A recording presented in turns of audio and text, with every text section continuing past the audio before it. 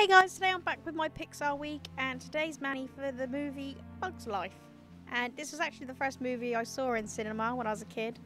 So if you want to know how I did these nails, keep watching. So on my index and pinky fingers, I just used a light green. On my ring finger, I painted white. And my middle finger, I painted a different green. And then I applied a top coat to both of those index and pinky fingers. Oh, no, to all of them, I lie.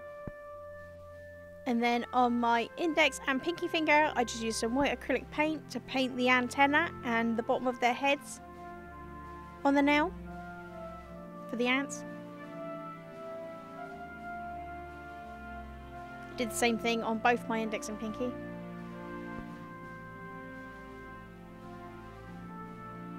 And then for the Flik nail, I just uses uses that's not a word used a sort of dusty blue and then for Princess Atta, I just use a mauvey sort of purple. And off camera, I forgot to record me painting her crown, but luckily I remembered and did some details.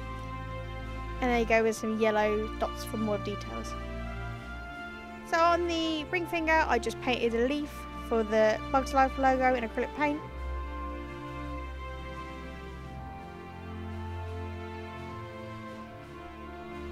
And then once that was dry, I applied a top coat so I wouldn't ruin it. And then with the white acrylic paint, I typed, uh, typed, I wrote a bug's life. I did try it in yellow acrylic paint at first, but it wouldn't show up pigmented enough. So I did it in white first and just went over it in yellow. I thought this came out really well. I was quite impressed. And now for my caterpillar nails, I used a well, I did start off with a green acrylic paint, but you can't really see it. So I went back over with the same polish that I used for the index and pinky to do two lines across the nail. And then I forgot to press record again, but I used a dotting tool and some yellow nail polish and did four dots on the nails in between. And I just went back over it with a green acrylic paint. And finally a top coat.